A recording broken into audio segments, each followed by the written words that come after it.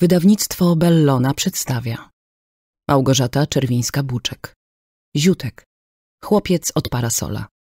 Czyta Beata Olga Kowalska. Ziutkowi, Halinie i innym. W maju. W maju. Na świecie jest maj. Na świecie jest raj. Na świecie jest pełno radości w mym sercu jest radość, marzeniom jest zadość, bo pełne jest serce miłości. Najsłodsze nastroje, uczucie, nas dwoje. Królują w nim wielkie i święte.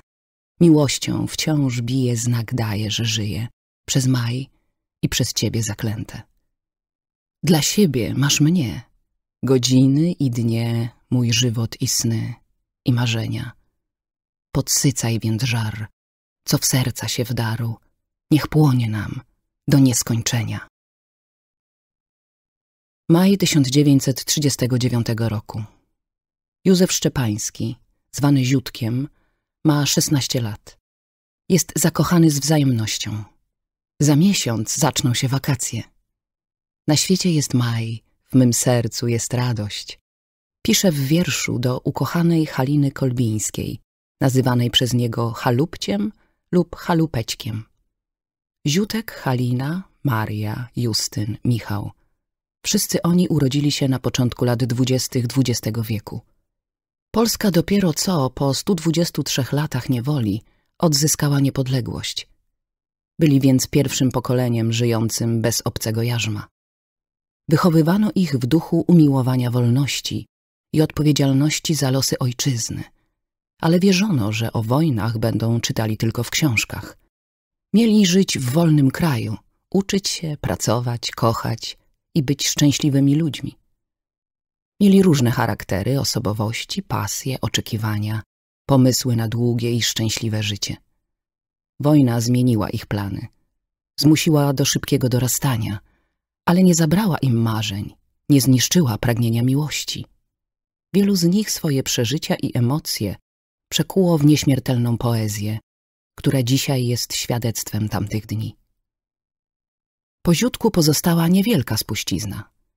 Najwcześniejsze przedwojenne wiersze zostały zniszczone albo zaginęły w czasie zawieruchy wojennej.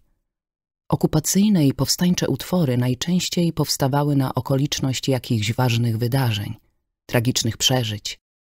Były prezentowane przez autora koleżankom i kolegom z konspiracji – i to oni najczęściej je spisywali i przekazywali dalej. Ziutek był wrażliwy, niepokorny, zbuntowany, ale nawet w najtrudniejszych momentach starał się nie tracić wiary i nadziei. Do końca swojego krótkiego życia snuł plany na przyszłość. Wiersz do pamiętnika. A gdy będzie już po wojnie, będzie miło i spokojnie. I dostatnio, i wygodnie, i dziewczęta zdejmą spodnie. I będziemy masło wsuwać i nie będą szafy fruwać, także skończą swe wybryki zwariowane granatniki. Będzie Polska z wolą Bożą, gdzieś od morza aż do morza, a młodzieńcy z parasola będą grali wielkie role. W dyplomacji, rządzie, sejmie, może wspomnień czarcie przejmie. I pamiętnik ten otworzysz, okulary na nos włożysz i przeczytasz te słów parę no i wspomnisz starą wiarę. Może ziutka maskę wspomnisz, co tak kochał cię ogromnie. Zginął zbyt wcześnie. Nie skończył jeszcze dwudziestu dwóch lat. Z jego niewielu ocalałych wierszy większość po wojnie znalazła się na liście utworów zakazanych. Bardzo starano się wymazać go z pamięci następnych pokoleń. Nie udało się. Wiersze Ziutka, tak jak w czasie okupacji, przekazywane były ustnie, drukowane w nielegalnych pismach, powtarzane na wieczorach poezji niepokornej. Nie zapomnieli o nim młodzi ludzie, dla których stał się wzorem, symbolem odwagi, prawości, ale i młodzieńczej fantazji. Matylda Szczepańska, matka Ziutka i Janusz Szczepański, jego o osiemnaście lat młodszy brat, zrobili wiele dla ocalenia tego, co po młodym poecie zostało a zostało tak niewiele. Życie potrafi jednak robić niespodzianki. W marcu 2019 roku Tomasz Mordziński podczas porządkowania zdjęć i dokumentów swojej mamy Haliny z domu kolbińskiej, zmarłej w 1995 roku, znalazł niewielki zeszycik z 21 wierszami, w większości miłosnymi. Pokazał je swojej żonie, która szybko zorientowała się, że ich autorem jest Józef Szczepański. Halina wiele razy o nim opowiadała, jednak zawsze jako o szkolnym koledze, żołnierzu batalionu Parasol. Nigdy nie wspomniała o łączącym ich uczuciu i wierszach pisanych dla niej. Tomasz natychmiast poinformował o odkryciu swojego starszego brata Krzysztofa. Przeprowadzili prywatne śledztwo i kiedy mieli już stuprocentową pewność, że to są wiersze pisane przez Ziutka, skontaktowali się z Januszem Szczepańskim. Po zebraniu opinii ekspertów i prawników oraz konsultacjach z wydawnictwem stwierdzili, że wiersze należą do polskiego dziedzictwa kulturowego i zdecydowali, że muszą zostać udostępnione czytelnikom. Szczęśliwy zbieg okoliczności spowodował, że to mnie zaproponowano napisanie książki z wykorzystaniem odnalezionych wierszy Ziutka. Poprosiłam synów Haliny Kolbińskiej o przesłanie wszelkich materiałów, jakie są w ich posiadaniu, a mogą być wykorzystane w trakcie pisania. Kilka tygodni później pan Tomasz Mordziński przysłał mi e-mail. Zgodnie z pani prośbą o przygotowanie i dostarczenie jak największej ilości dokumentów, faktów, opisów zdarzeń i tym podobnych, dotyczących naszych korzeni, przystąpiłem raz jeszcze do gruntownego przejrzenia czegoś, co mogłoby rozszerzyć moją wiedzę. Przeprowadzone poszukiwania doprowadziły do wyszperania kilku dodatkowych dokumentów, głównie metryk oraz zdjęć, które mogą być wykorzystane przy pisaniu książki o historii Ziutka i Halupcia. Ostatni dzień tych poszukiwań przeszedł wszelkie moje oczekiwania. Wśród rodzinnych szpargałów, do których, jak się okazało, w ogóle nie zaglądałem, odnalazłem saszetkę z kilkoma kopertami, zawierającymi dokumenty dotyczące mojej rodziny, kilkadziesiąt zdjęć fotograficznych, kwity opłat dotyczących istotnych dla mamy spraw, a co najważniejsze, niepozorny pakiecik listów przewiązanych wstążeczką. Te listy okazały się prawdziwą bombą. Były to listy ziutka do mojej mamy, pisane między czerwcem 1939 a grudniem 1941. Przeżyłem prawdziwy szok. Przecież według słów mamy z ostatniego listu do Ziutka miała te listy jemu odesłać albo je spalić. Na szczęście tego nie zrobiła. Ale fakt ten zmienia chyba w istotny sposób całą otoczkę sprawy napisania książki. Dzięki tym bezcennym dokumentom, po ponad 80 latach od ich napisania i ponad 75 latach od śmierci Józefa Szczepańskiego, mogła powstać ta książka o żołnierzu poecie oraz o ludziach z nim związanych i światło dzienne mogą ujrzeć nieznane dotąd młodzieńcze wiersze i listy Ziutka dedykowane Halinie. Ta książka jest opowieścią o Józefie Szczepańskim, Halinie Kolbińskiej, ich miłości i przyjaciołach, ale to też hołd złożony całemu pokoleniu. Najmłodsze lata Józef Szczepański, Ziutek, u źródeł Ogromny wpływ na każdego człowieka mają otaczający go ludzie i warunki, w jakich wyrastał. Chcąc lepiej zrozumieć Ziutka, motywy jego postępowania, stosunek do świata, musimy zacząć od źródeł. Jego ojciec, również Józef Szczepański, urodził się 14 października 1894 roku w Żurawiczkach, w rodzinie chłopskiej. Był najstarszym z siedmiorga rodzeństwa. Miał cztery siostry i dwóch braci. Sytuacja materialna rodziny była bardzo trudna, ale pomimo tego Józef poszedł do szkoły średniej w Bielsku Białej i tam zdał maturę. Po śmierci rodziców czuł się odpowiedzialny za młodsze rodzeństwo. Przejął prawną opiekę nad najmłodszymi braćmi, Stanisławem i Wojciechem. Historia związała jego losy z wojskiem. Rozpoczął służbę w armii austriackiej, a po utworzeniu legionów wstąpił do nich w randze porucznika. Rany odniesione w wojnie z bolszewikami w 1920 roku spowodowały u niego częściowe inwalidztwo. Pozostał jednak w armii. W 1922 roku rozpoczął kurs łączności wojskowej w Zegrzu. Po jego ukończeniu skierowany został do służby w pułku w Grudziądzu, skąd kilka lat później, już w stopniu majora, wyjechał do Warszawy. Na początku 1922 roku Józef ożenił się z Matyldą Otomańską. Jego ukochana była dużo młodsza. Urodziła się w 1905 roku w Sosnowcu, w rodzinie inteligenckiej, jako drugie dziecko. Pięcioro jej rodzeństwa to Władysław, Apolonia, Stanisław, Aleksander i Edward. Rodzice pracowali w okolicach Charkowa, gdzie ojciec Władysław był dyrektorem w fabryce Solvay. Dzieci miały radosne i beztroskie dzieciństwo. W 1918 roku rodzina Ottomańskich przeprowadziła się do Warszawy, ale nie na długo, bo kolejnym etapem było podjęcie przez ojca pracy w Kutnie, w fabryce maszyn rolniczych Kraj. Z tego powodu Matylda nie ukończyła nauki rozpoczętej w stolicy na pensji dla dziewcząt. Niedługo później wyszła za mąż za Józefa Szczepańskiego, oficera 37 Pułku Piechoty i razem z nim przeniosła się do Zegrza. Czwartek, 30 listopada 1922 roku. Cała Polska żyła ważnymi wydarzeniami politycznymi. 5 listopada odbyły się wybory do Sejmu pierwszej kadencji. 12 listopada pierwsze w historii wybory do Senatu. 30 listopada Warszawa żegnała dowódcę odsieczy Lwowa, generała Wacława Iwaszkiewicza Rudoszańskiego, zmarłego kilka dni wcześniej w szpitalu ujazdowskim w Warszawie, wówczas szpitalu wojskowym. Po nabożeństwie żałobnym w kościele Świętego Krzyża trumna z ciałem generała została przewieziona w asyście honorowej na dworzec, a stamtąd do Lwowa, gdzie po uroczystościach pogrzebowych złożono ją w kwaterze dowódców na cmentarzu obrońców Lwowa. Również 30 listopada 1922 roku w wojskowym szpitalu ujazdowskim urodził się nowy bohater, Józef Andrzej Szczepański.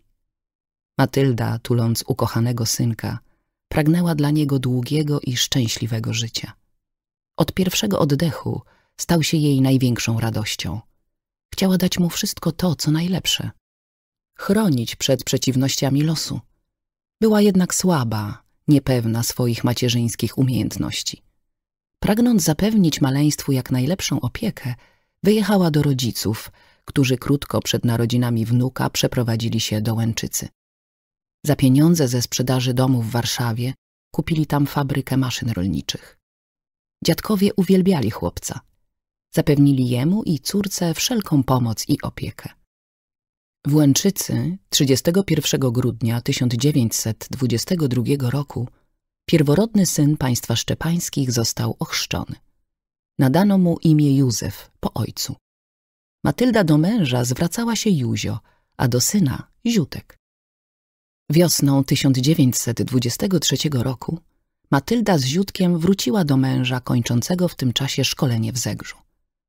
Jeszcze w tym samym roku Józef Szczepański senior został przeniesiony do pułku łączności w Grudziądzu. Mieszkali tam prawie pięć lat. Matka i niania robiły wszystko, żeby Ziutek miał radosne dzieciństwo. Matylda, rozkochana w swoim jedynaku, nie szczędziła mu uwagi i czułości. Najpewniej już w początkowym okresie życia chłopca zaczęła rodzić się między nimi niezwykła więź, która nigdy nie została zerwana.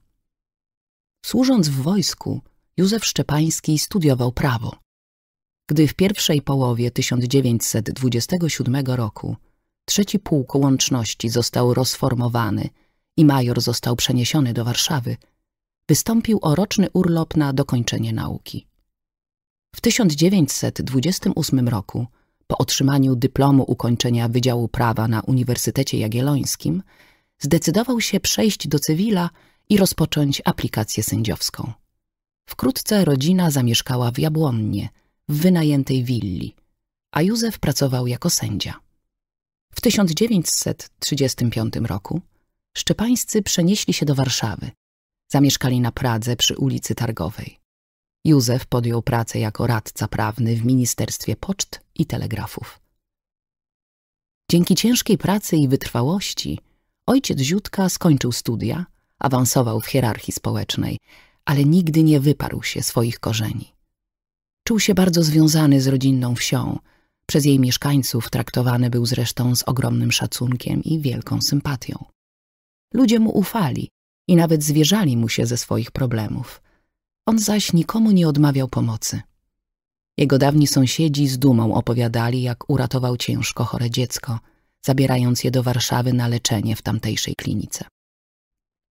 Józef Szczepański był niezwykle rodzinnym człowiekiem. Przez całe życie utrzymywał bardzo dobre stosunki z rodzeństwem i ich rodzinami. W ważnych i trudnych momentach życia byli razem. Mały Ziutek był bardzo bystrym i pojętnym dzieckiem. Chętnie uczył się wierszyków czytanych przez mamę. Jego ulubionym był Katechizm polskiego dziecka autorstwa Władysława Bełzy. Bardzo wcześnie sam zaczął rymować, co rodziców cieszyło, a czasem też bawiło, ale traktowali to wyłącznie jako dziecięcą zabawę. Zachwycała go przyroda, był wrażliwy na jej piękno. Potrafił godzinami obserwować z zainteresowaniem ptaki. Najlepszą przyjaciółką Ziutka i towarzyszką dziecięcych zabaw była cioteczna siostra jego mamy, Irena Pigulewska, później po mężu Dusik. Jej ojciec zginął w Rosji w czasie rewolucji. Do Polski przywiozła ją matka Matyldy i wspólnie z córką wychowały dziewczynę. Ziutek traktował starszą od siebie o cztery lata Irunię, która bardzo często gościła u nich w domu, jak siostrę, chociaż formalnie była przecież jego ciotką. W czasie, gdy mieszkali w Jabłonnie, spędzali razem mnóstwo czasu.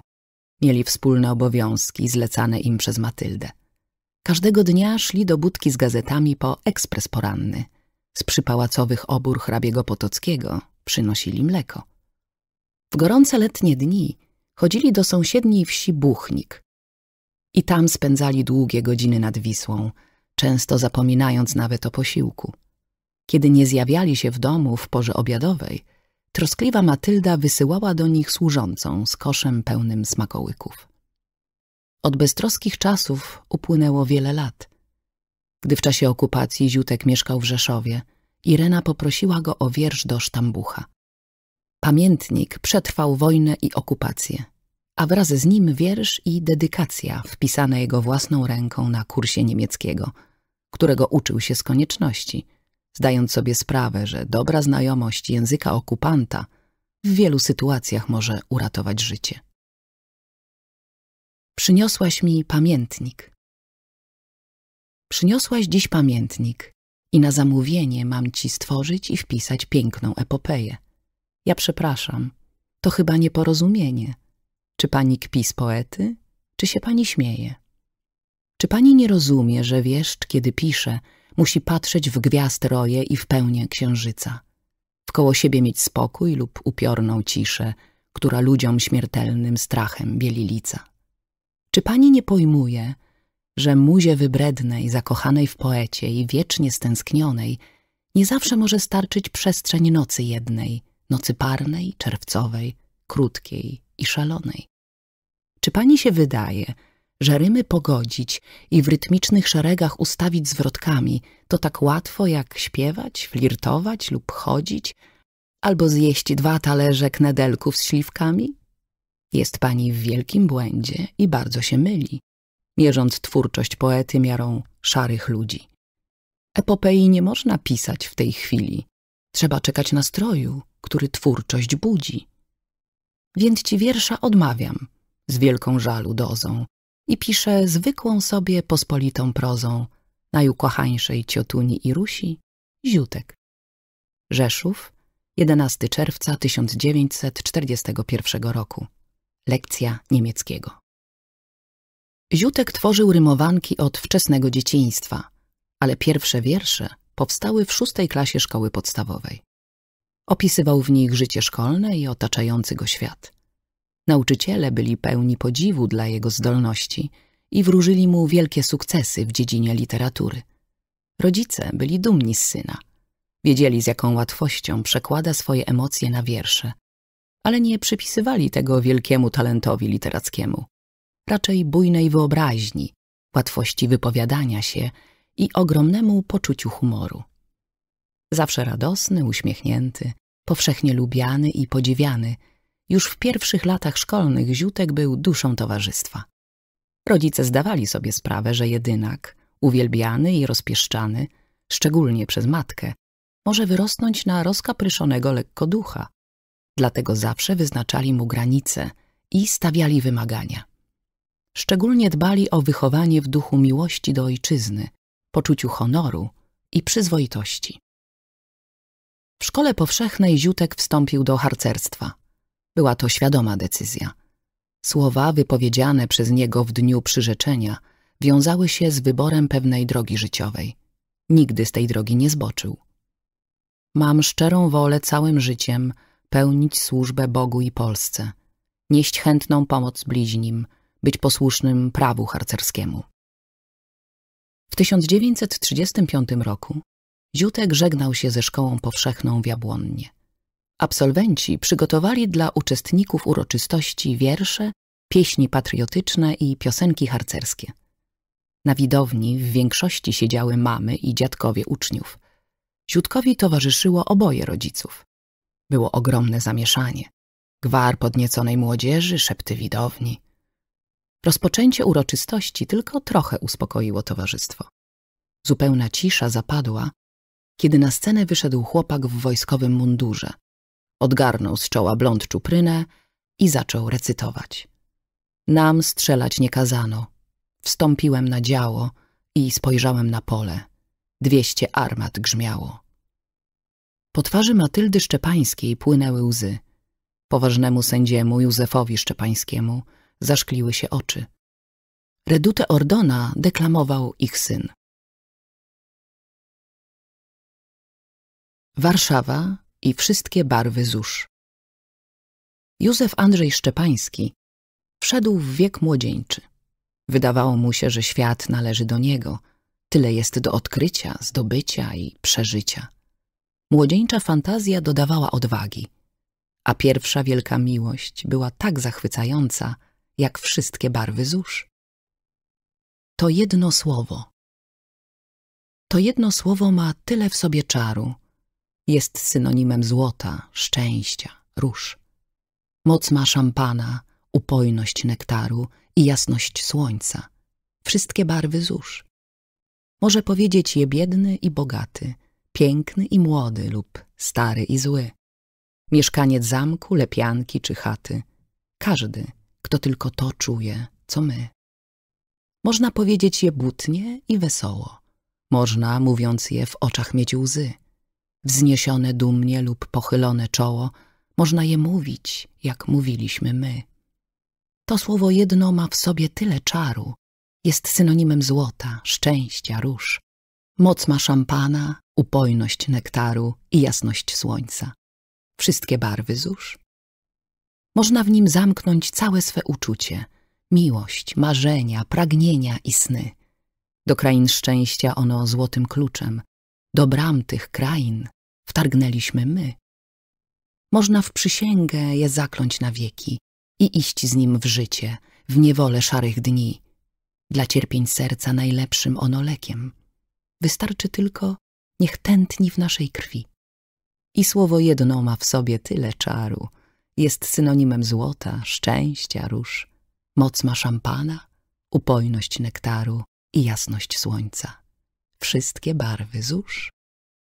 25 kwietnia 1939 roku.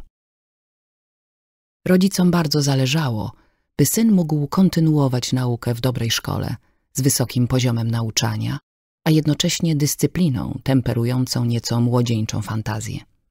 Nie chcieli, by uczył się daleko od domu. Dlatego zdecydowali się przeprowadzić do Warszawy, gdzie ojciec rozpoczął pracę w Ministerstwie Poczt i Telegrafów jako radca prawny. Wynajęli mieszkanie niedaleko szkoły przy ulicy Targowej. Ziutek został przyjęty do gimnazjum imienia Władysława IV, jednej z najstarszych warszawskich szkół. Powstała ona w 1889 roku jako gimnazjum praskie, a od 1915 roku działała jako Polskie Gimnazjum Filologiczne imienia Władysława IV, króla, który nadał Pradze prawa miejskie. Bardzo szybko okazało się, że dorastający chłopak potrzebuje nadzoru rodziny. Był nieprzeciętnie zdolny, ale nie zamierzał spędzać życia tylko nad książkami. Otaczający go świat był tak ciekawy i niósł tyle pokus, że na naukę zwyczajnie brakowało czasu. Bezkonfliktowy charakter i ogromna pogoda ducha pozwalały Ziutkowi bardzo łatwo zjednywać sobie ludzi.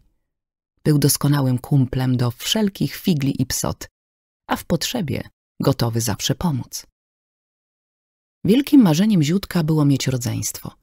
Niestety po jego urodzeniu Matylda Szczepańska miała duże problemy ze zdrowiem.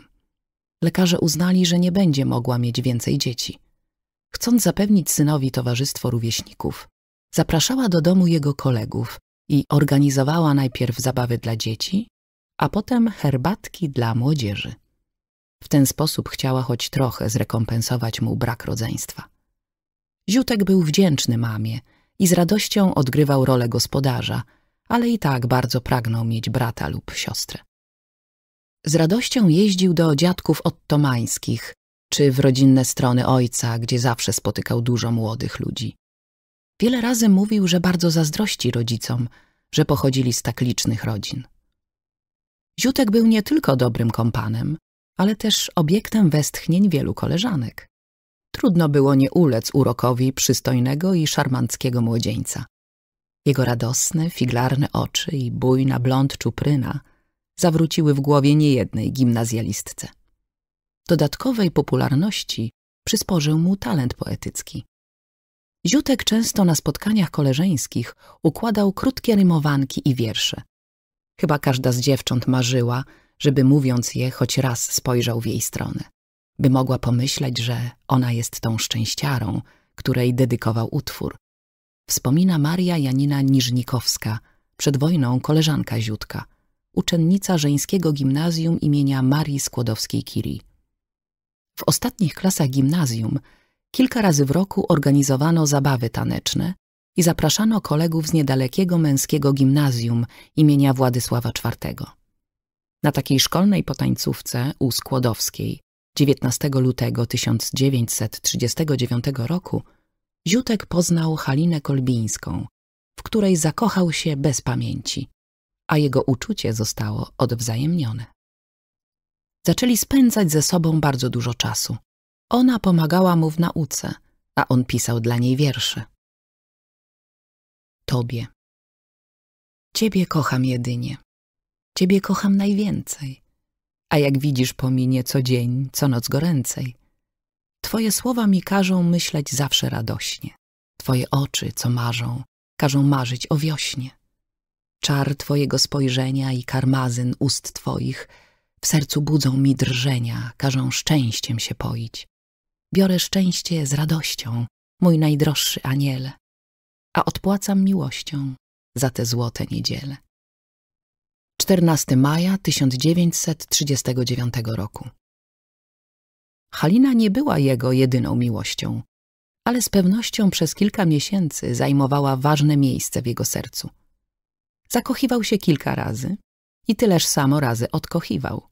Jedyną kobietą, do której jego miłość rosła, z każdym rokiem stawała się dojrzalsza i coraz piękniejsza, była matka.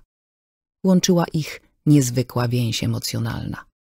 Matka czuwała, chroniła, wybaczała i nigdy nie próbowała nim zawładnąć. Zdarzało się, że nie była zadowolona z jego wyborów, ale pozwalała mu samemu decydować i popełniać błędy. Dla Ziutka była niedoścignionym wzorem, kobietą idealną. Po przeprowadzce do Warszawy Matylda jako osoba bardzo religijna zaczęła zabierać syna w pierwsze piątki miesiąca do kościoła kapucynów przy ulicy Miodowej. Stało się to ich wspólną potrzebą, czymś więcej niż uczestnictwem w mszy świętej. W każdy pierwszy piątek miesiąca świtem szli oboje do spowiedzi, a potem do komunii świętej.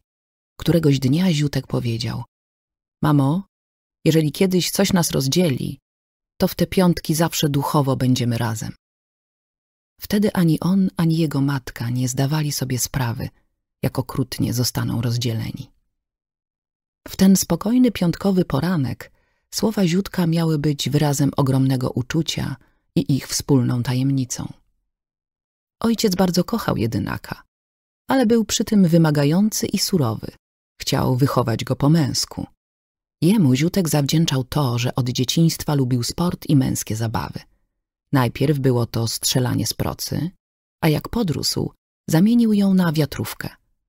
W gimnazjum Ziutek napisał dwa krótkie wierszyki poświęcone rodzicom, które doskonale przedstawiają relacje między nimi. Mama Moja mama, gdy chodzi w czerwonym szlafroczku i gdy ma jeszcze trochę snu na oczku, to Gretę Garbo przypomina. Taka jest wtedy cudna dziewczyna. Tato Mój tato, co daje mi chleb, a czasem w łeb. Dermanka. Ostatnie wakacje. W 1939 roku Józef Andrzej Szczepański skończył gimnazjum i zdał małą maturę. Przed nim były jeszcze dwa lata nauki do otrzymania pełnej matury. Od września miał rozpocząć naukę w liceum, pod jednym warunkiem. Pod koniec wakacji musiał zdać poprawkę z historii. Jednak latem nie zawracał sobie tym głowy, jakby przeczuwał, że musi jeszcze nacieszyć się życiem. Rozpoczęły się wakacje, na które czekał z takim utęsknieniem. W lipcu razem z matką wyjechał do Dermanki, pięknej wsi na Wołyniu, położonej wśród lasów. Przeprowadzili się tam dziadkowie ottomańscy, bo dziadek został dyrektorem pobliskiej fabryki ceramiczno-kaolinowej. Nasza trojka. Tu w Dermance, nad graniczną słuczą, ciemne typy trzy stale się włóczą. Jeden blondyn, drugi także, trzeci rudy. Pierwszy gruby, drugi, trzeci chudy. Pierwszy dzierży wiatrówkę w swej dłoni, za wróblami i kraskami goni. Trzeci flower dziewiątkę ma w ręce, strzela kaczki, gołębie, zajęce. Drugi wąsy już ma i się goli – i panienki od zajęcy woli. Pierwszy stale coś żuje, przeżuwa, gruszki, jabłka i ogórki wsuwa.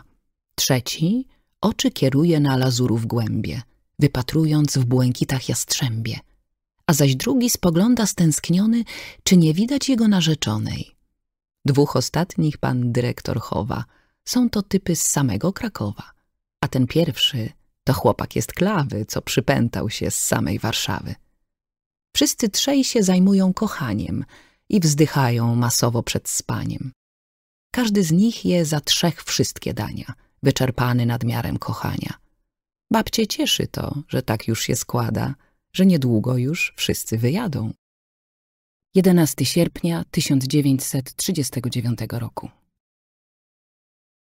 Razem z Ziutkiem wakacje spędzali tam dwaj najmłodsi bracia matki, Aleksander i Edward – niewiele starsi od swojego siostrzeńca. Panowały między nimi stosunki bratersko-przyjacielskie. Towarzystwo Olka i Edka było dla Ziutka namiastką wymarzonego rodzeństwa. Ziutek cieszył się latem, jakby czuł, że są to ostatnie wakacje w jego życiu. Jakby chciał ten ostatni raz nazachwycać się przyrodą, nawąchać kwiatów i nasłuchać śpiewu ptaków. Co robił, co myślał i co go zachwycało – dowiadujemy się z listów pisanych do ukochanej Haliny Kolbińskiej. Fragment listu z 5 lipca 1939 roku.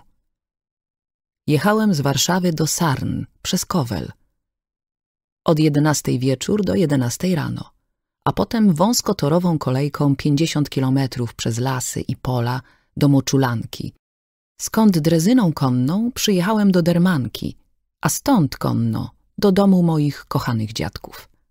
Halu, Pećku, mój kochany, żebyś ty wiedziała, jak tu jest cudnie, jak pięknie szumią lasy i pachną kwiaty łąk, jak cicho toczy swoje przezroczyste wody słucz, jak cały świat uśmiecha się do mnie. Fragment listu z 20 lipca 1939 roku. Śpię w lesie, niedaleko domu, pod wielkim rozłożystym dębem, Śpi się świetnie. Las szumi, rzekę także słychać i widać. Pogoda jest cudna, więc gwiazdy migocą mi z nieba. Nocne ptaszęta fruwają nade mną. Pachnie pięknie i jest uroczo. Pies nasz kochany śpi koło mnie i częstuje mnie swoimi pchłami. Śpię od dziesiątej do czwartej. Więcej nie mogę. Kiedy się budzę, to po pierwsze zjadam kilkanaście dojrzałych jabłek i zielonych gruszek, które mam przezornie schowane pod poduszką. Po drugie, wkładam slipy i siup do rzeki. Woda zimna i czysta jak kryształ. Pływam, nurkuję, pryskam i chlupię się jak małoletnie niemowlę. A jak już się opiję porządnie wody, to idę do domu. Jest śniadanie. Piję więc kubek mleka, albo dwa. Zjadam potworne ilości chleba, ciasta i powideł. Śmieję się, żartuję, jestem wesół i rad. Potem albo idziemy ja i Edek, ja i Olek, ja, Olek i Edek, lub wreszcie ja sam, z wiatrówką na polowanie lub z wędkami na ryby. Na tych sportach spędzamy czas do południa. A po południu to różnie bywa, więc jeden. Siadamy w różnych składach i rżniemy w brydża po jednej dziesiątej grosza. Podczas gry dowcipkujemy i docinamy sobie ile wlezie. Dwa. Idziemy się kąpać i siedzimy w wodzie aż do wieczora, wygłupiając się ile wlezie. Trzy.